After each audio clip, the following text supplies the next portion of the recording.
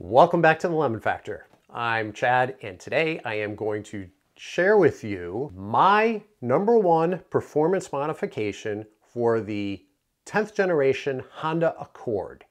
So this modification is easy to install if you don't have the location, the tools, or the know-how to install certain modifications on your car. This is a relatively easy install. If you're someone who is looking to increase the performance of your car, but you don't have a lot of money to spend, or you simply don't want to spend a lot of money, relatively speaking, this is probably the best bang for the buck performance modification you can make on your 10th generation Honda Accord. Or maybe you're someone who wants to increase the performance, but you do not want to increase the sound levels of your car. You'd like to keep it as quiet as possible, keep it relatively stock, not draw attention to yourself. This modification will do that too. If you're interested in hearing more, then stay tuned.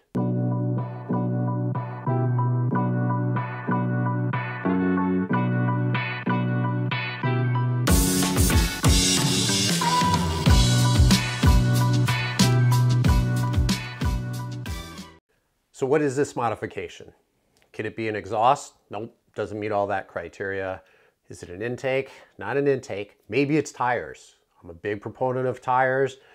A good set of tires will add performance, whether it's grip for acceleration, grip for cornering, or grip for braking. Great modification uh, is a good set of tires, but no, it's not a good set of tires. What I'm talking about is an ECU tuner. For those of you not familiar with it, very quickly, what an ECU tuner is, is it's, an, it's a device that can talk to your car's ECU. Picture an ECU as being the brains of your car. Think of your engine and the fact that your engine has to inhale air, combine that with fuel, and spark it with a spark plug to light it for combustion to produce power. The ECU of your car controls all that. It'll make all the adjustments needed to create the proper air-fuel ratio for your car to run optimally.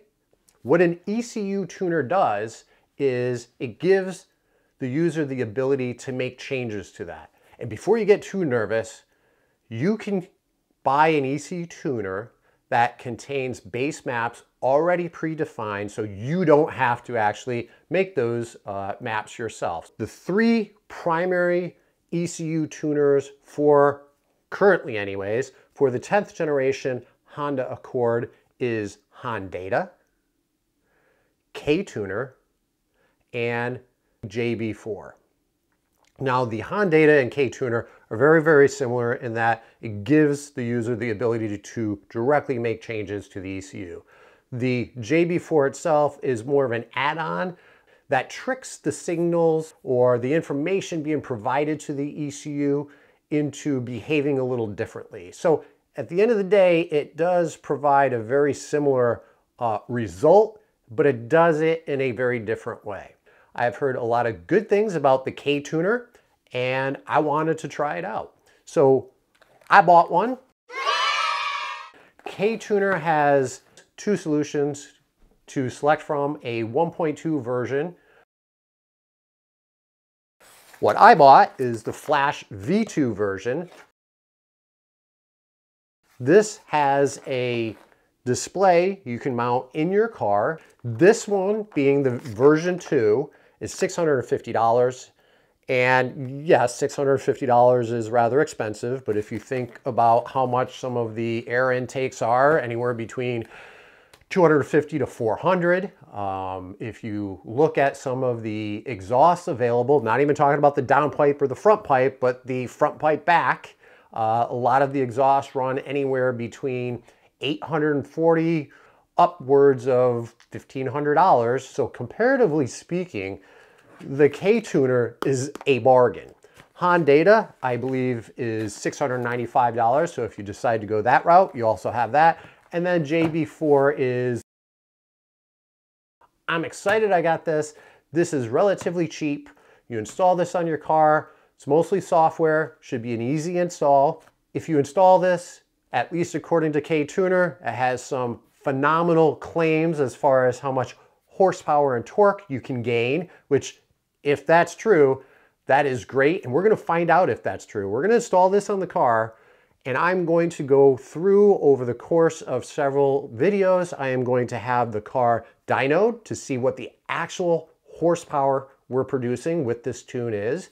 Uh, I am going to conduct some 0 to 60 tests. And by the way, we've already done baseline dynos with our car. We've already done some 0 to 60 testing. If you haven't checked out those videos, take a look at the description below.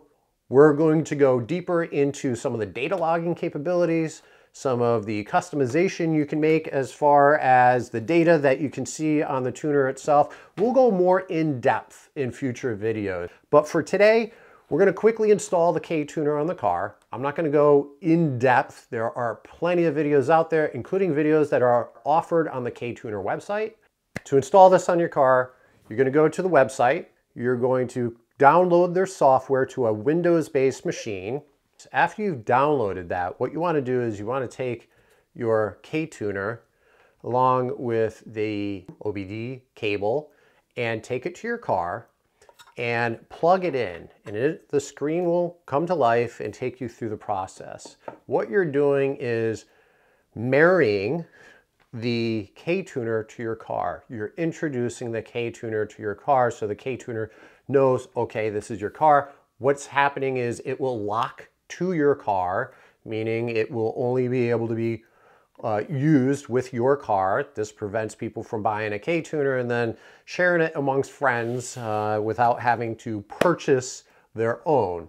And then we will bring this back in, connect it to our laptop, and we'll have the ability to upload specific base maps that K-Tuner has already created. Again, you don't have to create any maps for yourself. These are already made by K-Tuner. You can select which ones, and when once you marry this to your car and then you go back and attach it to your laptop, uh, the fact that it's already connected with your car should allow the software to clearly identify the base maps that you should be using. So I just finished the install. No issues, very easy. Just follow the directions and the videos that are provided on the K-Tuner website. One thing I noticed on the website, they didn't give a good um, indication of where the OBD2 port is.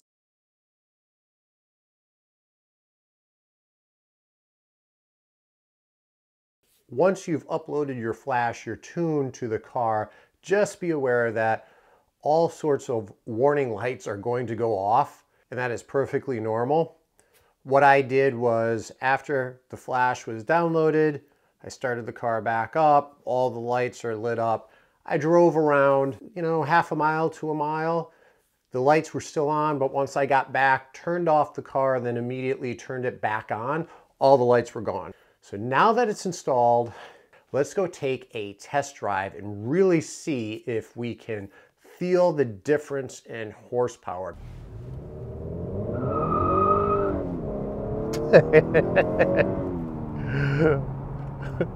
that that was from a standstill um, and there was a little bit of you know it wasn't perfectly straight so i don't want you to get the impression that it's going to be like that every single time but just put a smile on your face it is readily apparent that you are getting more horsepower and torque.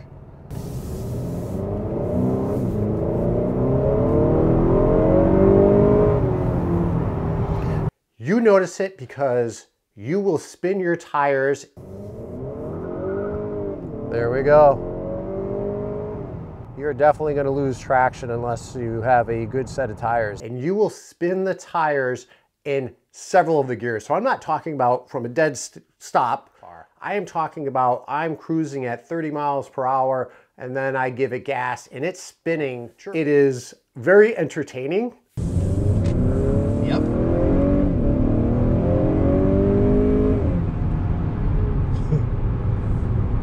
I am not going to improve my gas mileage with this K-Tuner. If your steering wheel is turned to any degree and you give it, you know, you get on the gas a little bit. I'm not talking about 100% wide open throttle. I'm just talking about, you know, 50% to, you know, 80%. Again, you'll chirp the tires, you will experience some torque steer.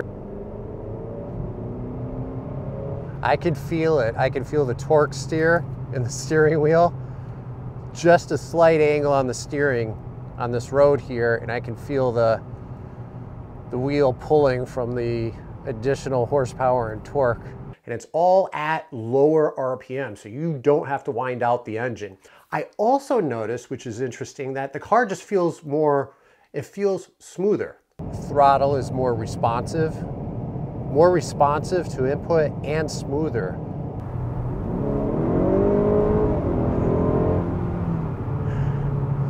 Two things stand out the whole time that I was test driving the car is this car needs a limited slip differential. You see that traction control kicking in?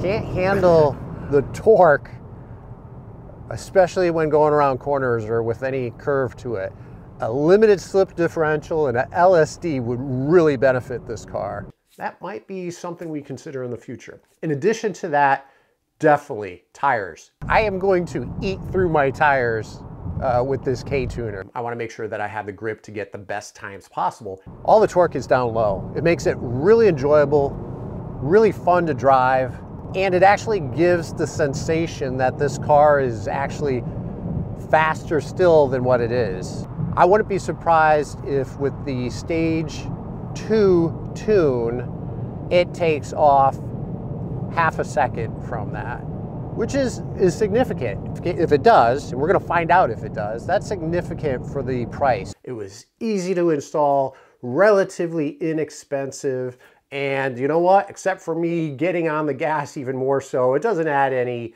uh, increased noise to the car. So if you're trying to stay under the radar or keep things quiet, then definitely consider this modification. So again, thank you, and until next time. It's fun.